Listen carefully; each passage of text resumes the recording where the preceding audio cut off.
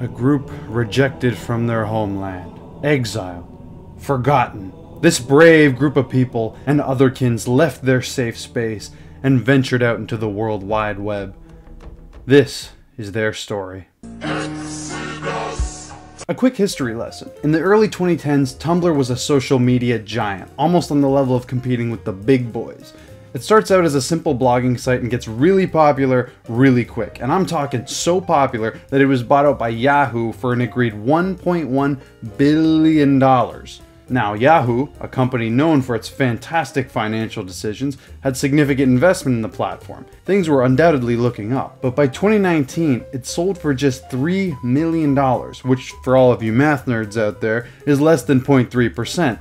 That's almost unheard of. What caused this, though? Well, like any other big social media platform, Tumblr had its fair share of controversies.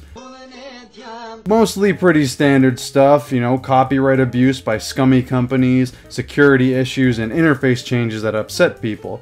Now, all of this is rather standard for a social media going through growing pains, especially one of Tumblr's size. But the worst of the Tumblr controversies came from the user base, which was so bad that the site had to take some drastic measures in order to curb their behavior. Anti-bullying measures were put in place as well as harassment rules, but the most significant of these changes was the banning of not safe for work material.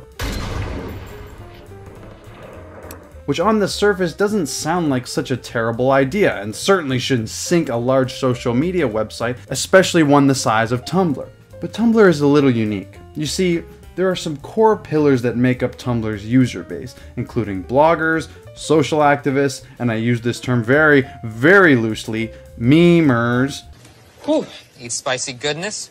Rock, paper, ice pick. But out of all of these bases, the most important are the artists. Tumblr is huge amongst the online art community, and deservedly so. Its user-friendly interface as well as easy reblogging features made it a hit amongst online artists. And when artists start to join, you get an exponential increase in other artists. The more artists join, the more artists they inspire, the more artists centralize their work on the platform. At the time, Tumblr was the unquestioned hub in regards to internet artists, but not all of these artists were your clean-cut definition of an artist. Some of them partook in less than desirable forms of art. Let's just say a lot of these artists overlapped with Rule 34 and DeviantArt people. And with that brought in another group of users, with these ones being, let's say... Look, I'm not gonna sugarcoat it, they were degenerates.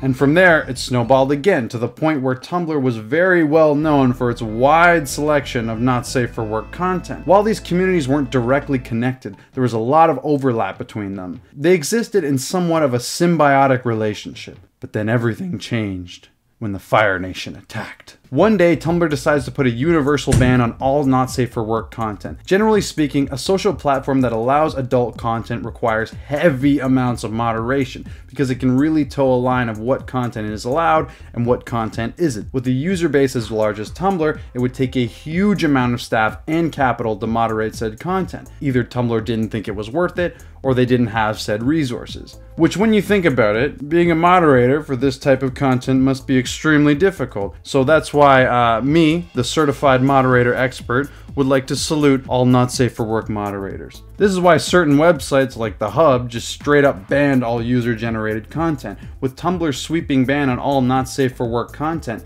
it left these artists and a huge chunk of its user base lost with no nation nowhere to call home. So what's step one when you lose your home? Find a new one. Why don't homeless people just buy a house? If you're homeless, just buy a house. It was time for the but it turns out it's not that easy, because out of the big social media platforms, only a few of them allow content they were looking for. Some sites were already eliminated by default, like Instagram and Facebook, which have fairly strict rules in regards to adult content. You also couldn't move to a platform that didn't really have a strong sense of community, like Snapchat. Once you whittle it down, you're only left with two real options Reddit and Twitter, my two favorite websites. Once they found their targets, the diaspora began. Tumblr lost its user base the same way it got it, from artists moving, and when the artists moved, so did the people who followed them, and when they left, the people who relied on them for reblogging also left. So our heroes set off to enter these unknown realms. But when they got there, they had a few problems. They're full of unsavory people. They were out of their element, with no trigger warnings, no safe spaces, and no Steven Universe artists to bully into suicide for not drawing fat characters. Yes, that actually happened, but fortunately nobody died. Turns out Tumblr might not have been the safest place for kids. Foreshadowing happens when clues in a story hint at future events. Anyway, the Tumblrites were not ones to give up. They did as the Europeans did, to basically everywhere and colonized it. No safe spaces? Guess what? We're gonna make them. Not just small sections, but the entire platform. Subreddits like anti hate communities were deployed to wipe out hate across Reddit by spamming hateful subreddits with possible illegal imagery, allegedly. Allegedly. Allegedly. And when they got rid of all the hate subs, they aimed their sights at subs attempting to have discussions. Although these ones were a lot harder to get banned. And once that got boring, it turned into cherry picking posts from random subs they didn't like, trying to get them banned. Which didn't work very well, but it keeps these people busy because they're losers who have no fucking life. Worst of all, they attacked r slash Big Chungus and successfully got it banned literally 1984. Meanwhile, on the Twitter front, things were a bit less organized, yet still somewhat effective. Hate mobs to bully other people, spamming people with the meanest shit you could imagine in the name of tolerance, you know how it is, pretty standard Twitter stuff. Now it's tough to say whether all this was from Tumblr directly. However, there is most certainly a correlation to the decline in public opinion towards these platforms and the Tumblr exodus. It's generally accepted that the Tumblr exodus occurred around 2018. However, users had certainly been establishing a footprint on other platforms like Reddit and Twitter before then. They just didn't become their main platforms until Tumblr banned not safe for work content. We can't say Tumblr is responsible for these changes 100%. Obviously, there are other factors that go into it, but we can try our best to look at some of the correlations between Tumblr behavior then and Twitter and Reddit behavior now. Horrible overused jokes and wholesome memes? Check. Romanticizing mental illness? A Tumblr classic. Check. Most importantly, an element of extreme toxicity and saying the nastiest things you can think of to people.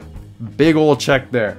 Well, we were listening Barbie Girl before you guys asked me to the media, so I was kind of dancing with these glasses out in the locker room, and, and then you guys ruined it, and I had to go answer the question. So I missed the Barbie Girl song, and uh, you know who knows what's gonna be on when I come back. As of current year, it is safe to say that Tumblr has massively influenced Twitter and Reddit, unlike any other platforms. As for Tumblr itself, it's tanked in both value and user base. Falling faster than a meme stock, it dropped over 100 million monthly users from 2016 to 2019. Holy fuck, that's a lot of people. But why? Why? Why?